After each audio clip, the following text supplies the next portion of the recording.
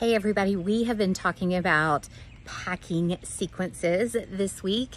And the reason this is important is because when you start packing your house, you want to start in areas that you use the least. The reason that this is important is because we want to keep the chaos to a minimum.